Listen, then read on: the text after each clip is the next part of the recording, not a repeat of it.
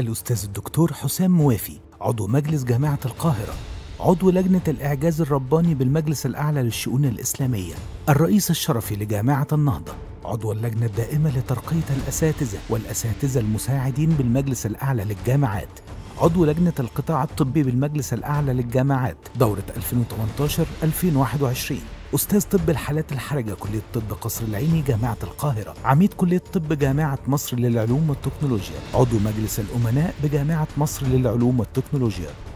مدير مستشفى الأمراض الباطنة قصر العيني. مدير عام مستشفيات جامعة القاهرة. مؤسس الوحدة الثالثة لطب الحالات الحرجة كلية طب القصر العيني. المعلم المثالي ست مرات على مستوى كلية طب جامعة القاهرة. الطبيب المثالي ست مرات على مستوى نقابة الأطباء. رئيس الجمعية المصرية لطب الحالات الحرجة. عضو الجمعية المصرية لأمراض القلب. عضو الجمعية المصرية لأمراض الكلى. له 180 بحث منشور في المجالات العلمية المحلية والعالمية. رائد طب الأمراض الباطنة في مصر والوطن العربي. قام بتأليف كتاب الأمراض الباطنة. تم تكريمه بإطلاق اسمه على دفعة 2015-2016 كلية طب جامعة القاهرة.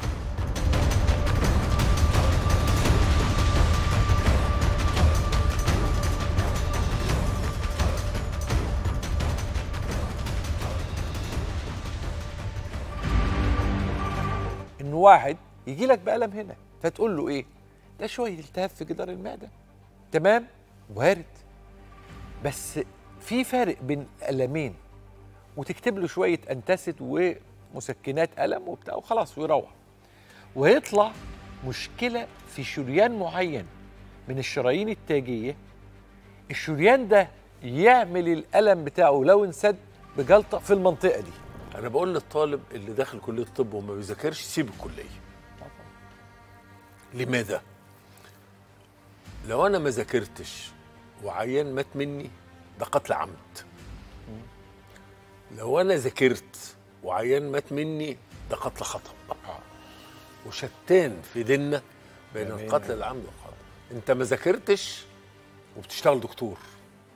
متاسف قد تكون الدوخة لا علاقة لها بالسكر. لا علاقة لها بالسكر خالص. وتكون من الضغط. تكون بتاخد دواء بيدوخ. وارد جدا جدا. لكن لو أنا جات لي حالة زي دي أول حاجة أفكر فيها خلل في الجهاز العصبي. ويل للمكذبين. تتقال عشر مرات ورا بعض. ويل يومئذ للمكذبين. عشر مرات ورا بعض.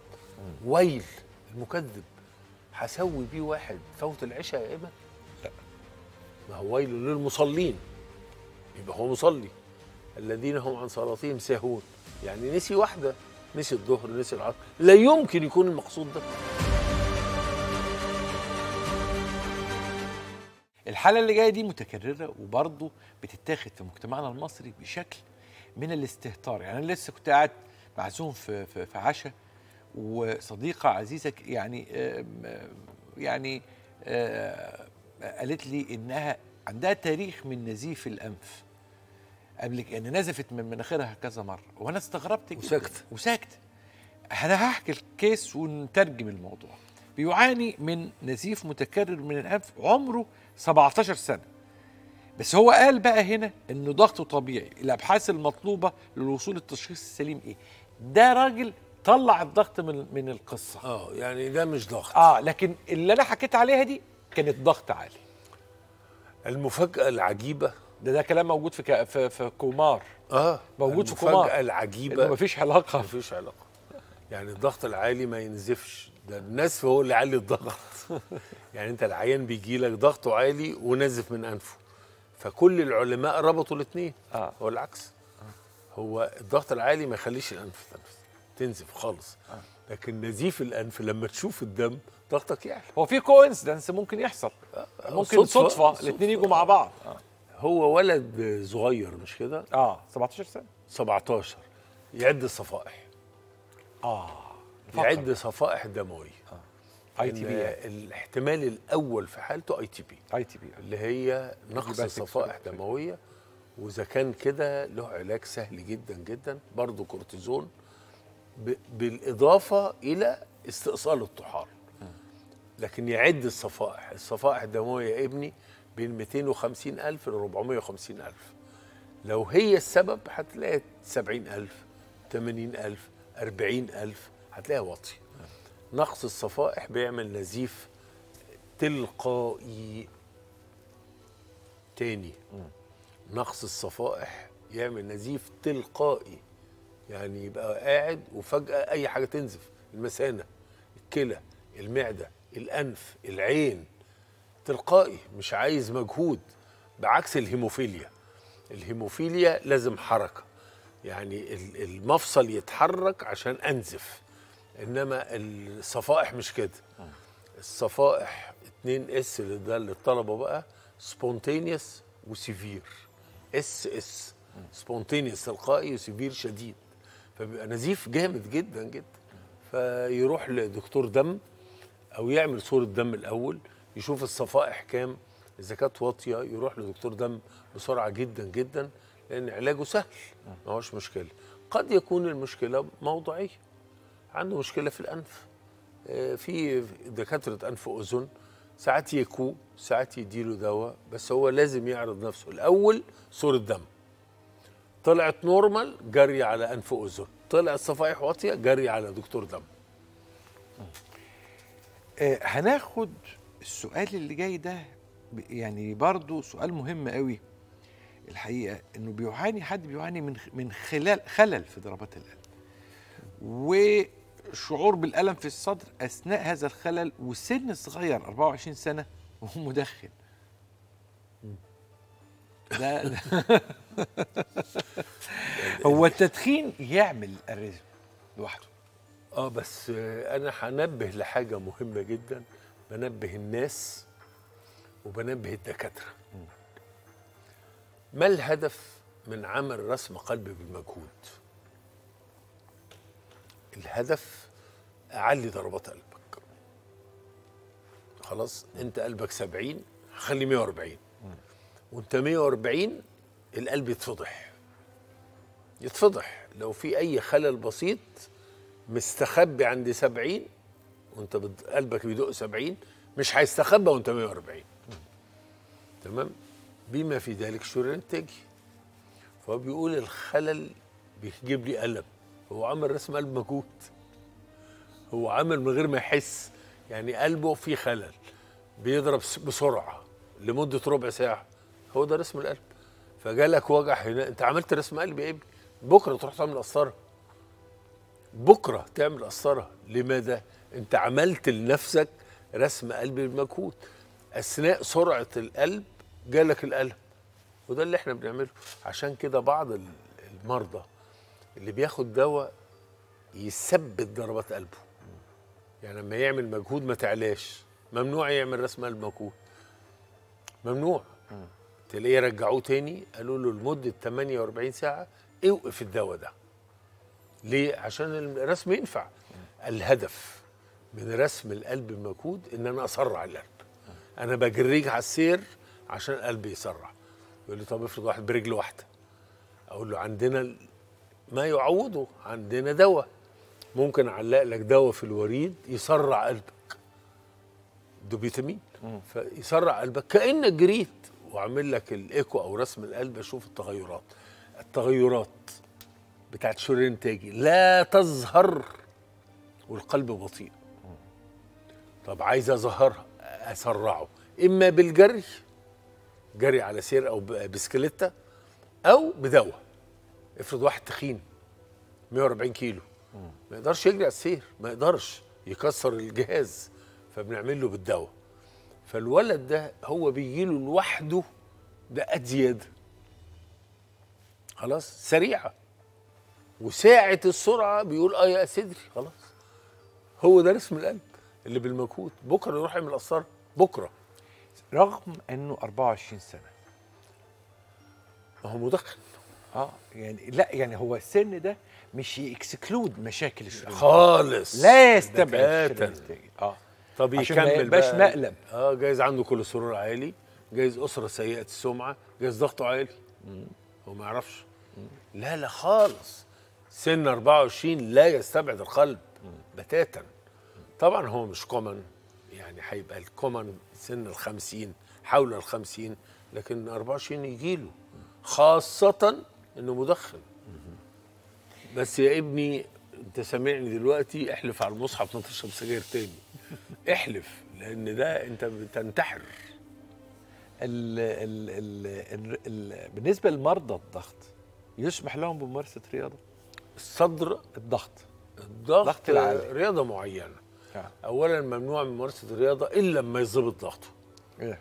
آه. يعني يقعد مثلا 15 يوم بنقيس له ضغط منتظم 120 80 نعمل له رياضات بس السكواش ممنوع لأنه عنيف جدا جدا يجري مسافات ممنوع. يعني أنا بفضل السباحة.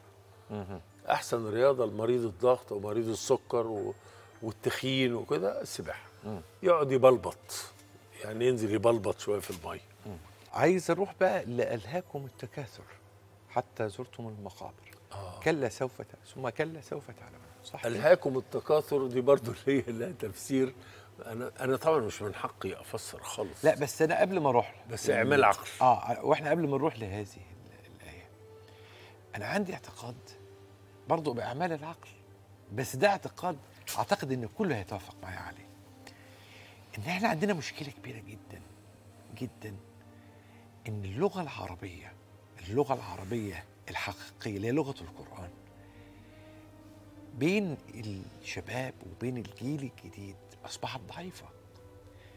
فهم القرآن الكامل عايز لغة عربية؟ عايز لغة عربية مش عادية دي لغة عربية قوية جدا ويكون الإنسان متشبع بيها بشكل كامل يعني بشكل فتحت- كامل. فتحت قضية خطيرة جدا. آه إحنا عايزين نتكلم على القضية دي قبل ما نروح لالهاكم ليه قضية بقى؟ خطيرة جدا. لأن لأن أنا دلوقتي لما باجي مثلا أسمع أنا بعشق ال- القدماء من القراء. اللي هو أنا بقى الشيخ عبد الباسط عبد الصمد الشيخ الحصري رحمهم الله. منشاوي. الشيخ, المنشاوي رحمه الله.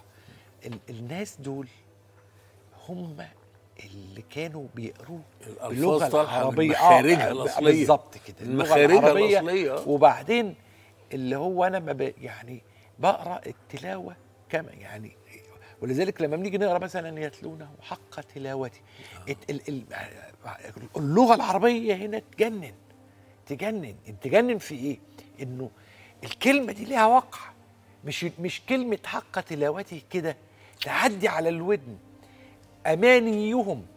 فتلك اماني أمانيهم دي مش المعنى البسيط للكلمة. أمانيهم دي كلمة صعبة جدا في اللغة العربية. أنا بعتقد ده أنا ما أعرفش برضو ده إعمال العقل عندي إن اللغة العربية بتاعة القرآن لغة المعنى فيها قوي جدا والكلمة فيها ودي من عظمة القرآن نقدر نطبقها على 1400 سنة فاتوا ونقدر نطبقها دلوقتي والتطبيقين الآن. يطلعوا سلام. صح كده؟ هقول لك بس. اولا أنت اثرت قضية خطيرة جدا قضية اللغة العربية. كم أم دلوقتي بس جاوب صح كم أم دلوقتي تفتخر إن ابنها ما بيعرفش يتكلم عربي؟ كتير. كتير جدا تخيل وصلنا لكده؟ جدا جدا. أصل اصل ابني ما بيعرفش آه، يتكلم. آه، أصل هو هي بيتكلموا إنجليزي. أنا بشوفهم بيتكلموا آه please don't please. آه. كويس إنه يعرف لغة. آه بس بس لا افتخر ما يعرفش عربي. دي مش فخر. دي فضيحة. دي فضيحة. دي رقم واحد.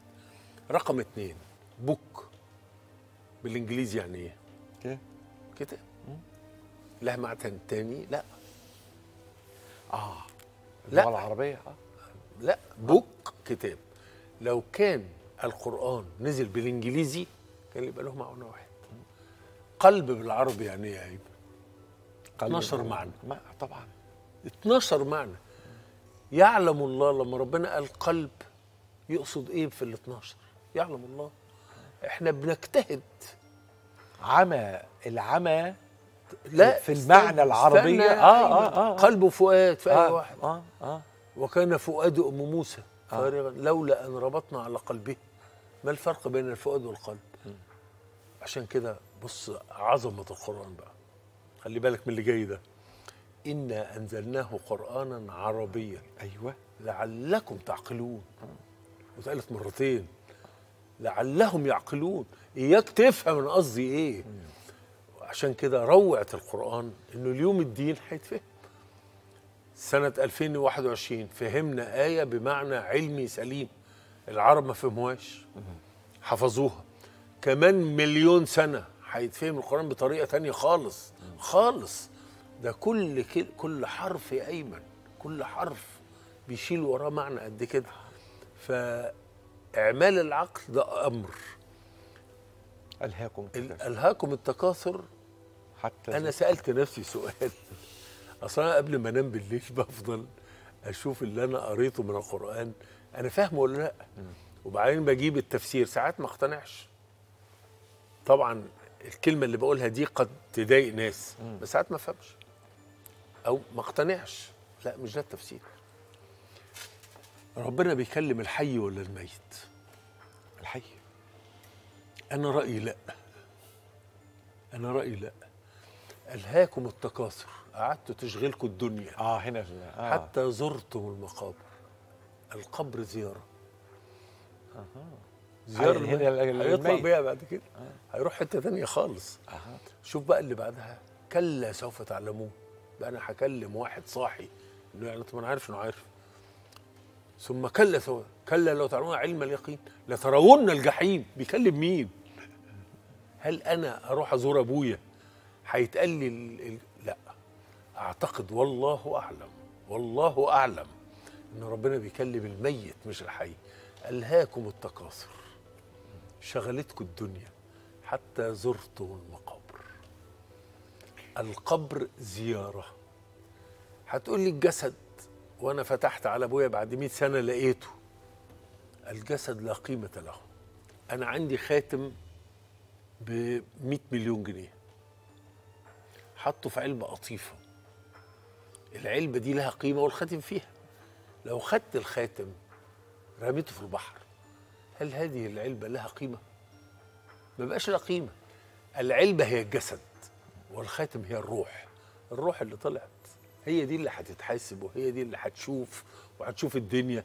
إنما الجسد ده علبة قطيفه ارميها. طب اللي كلوا اللي كلوا السمك. اللي كلوا السمك مش هيتحاسب؟ اللي اتحرق اللي عمارة و... كل ده ألهاكم التكاثر ربنا بيكلم الميت مش الحي. زي بالظبط في آية تانية بتتكتب على آه، عربية الميتين. دايما يكتبوها. آه، يا أيتها النفس المطمئنة. أرجع إلى ربك راضية برضو أنا بقول ربنا بيكلم الحي مش الميت. آه. ارجعي إلى ربك. واحد كان ضال. واحد كان ضال خمرجي وبتاع ستات وحرامي وربنا هداه. فبيكلمه يا أيتها النفس المطمئنة أو المطمئن ارجعي إلى ربك راضية الموت. فادخلي في عبادي لما دخل في عباده بقى هيخش جنته. ادخلي جنتي وبرضه الله أعلم. بس يعني إيه؟ أنا بس عايز أأكد عقلي يعني. أنا أنا عايز اكد على نقطة مهمة جدا. اللغة العربية في عوامل كثيرة أو في آه، أقول إيه آه آه يعني مجارف جار يعني اللي بيسموها إيه آه، مقداف م- آه مجاريف مقاديف. كثيرة آه، ساعدت بشكل ما إنها تعيق تقدم اللغة العربية أو تعيق انسياب اللغة العربية في عقول الأجيال الحالية.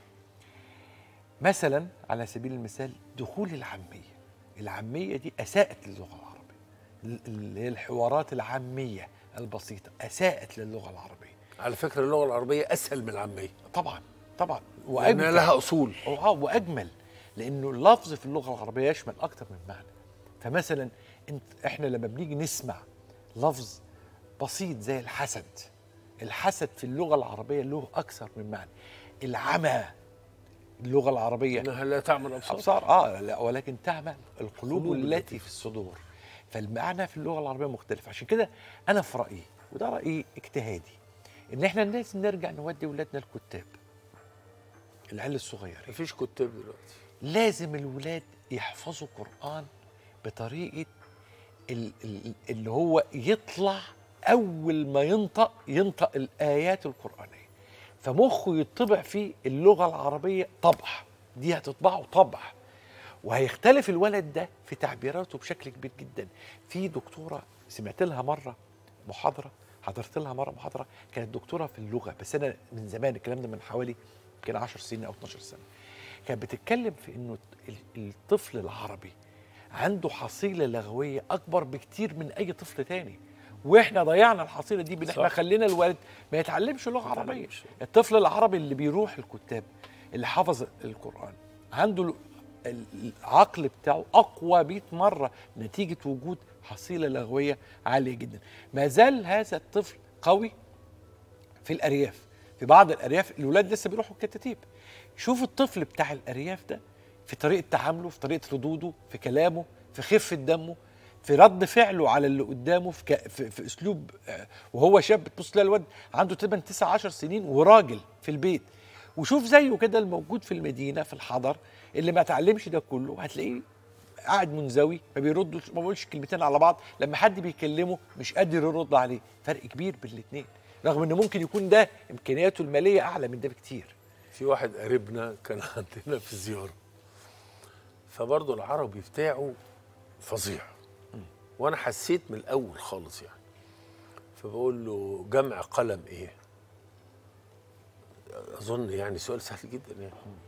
قال لي جمع قلم تقلمة. بقول له إزاي؟ قال لي إحنا مش نقول سبع تقلمة وثمان تقلمة.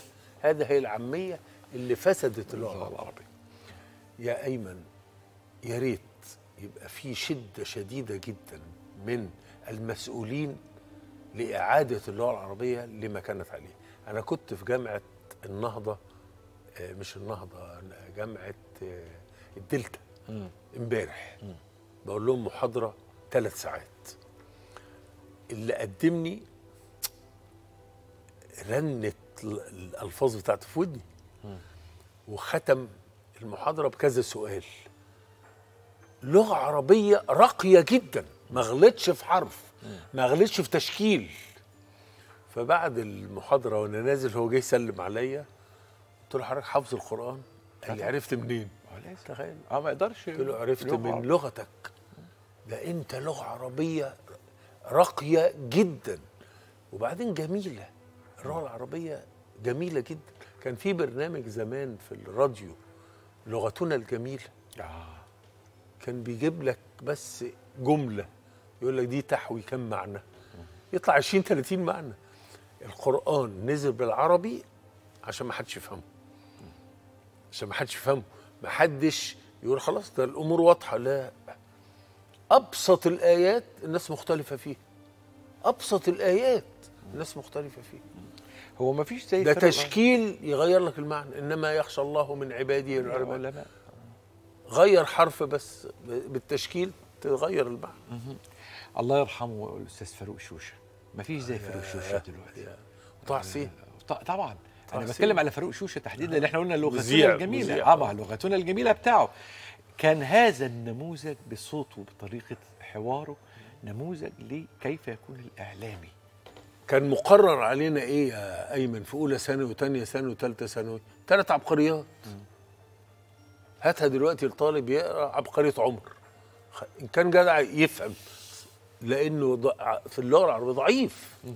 أنا يعني قريت رواية وائس لما قريتها وأنا في رابعة ابتدائي. آه، آه، بكثير. ما كنتش بتقول تقلمها لا لا أما كانت تخيلوا هي قد كده. أنا فاكرها كويس جدا لا العبقريات كانت مقررة. آه مقررة. أنا بتكلم على لا أنا. بتكلم على وائس ما كانتش مقررة. آه. وائس ما كانت مقررة في جيل قبلينا على ما أعتقد. تخيل بقى إحنا أولى ثانوي بدرس العقاد. وثانيه وثالثه فتطلع اللغة العربية سليمة. هات دلوقتي الجيل الجديد يبعت آه، يعني خطابات سليمة. أنا بشوفها عندي في في الجامعة.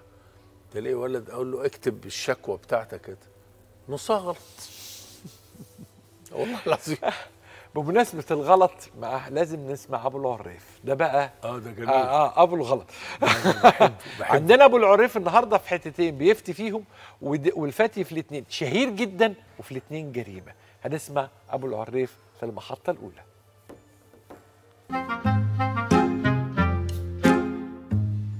يا باشا أعزم عليه بسجارة يقول لي بطلت من ساعة ما جالي السكر. طب اشرب الحاجة الساقعة. طب طبق البسبوسة ما كملتوش.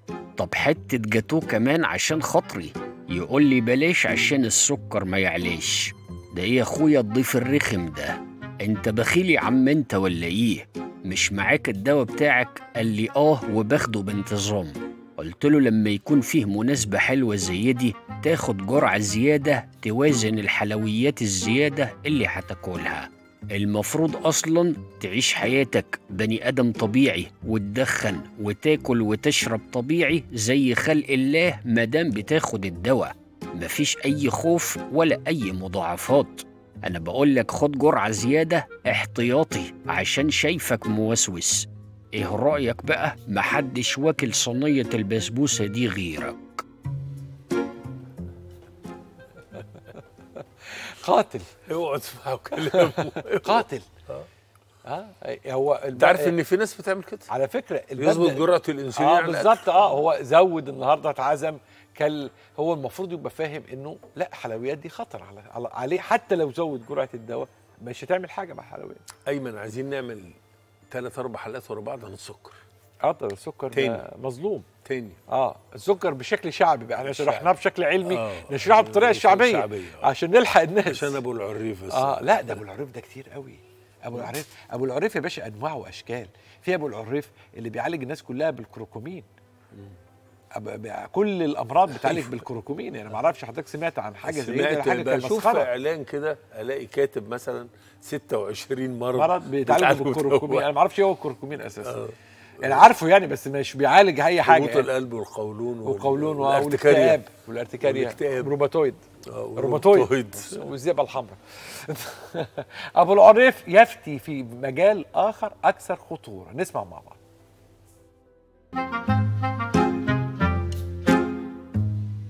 يا باشا الحاج عفاف خالة الأولاد الكبيرة من ساعة ما رجعت من الخليج والود موصول مرة عندنا ومرة عندهم.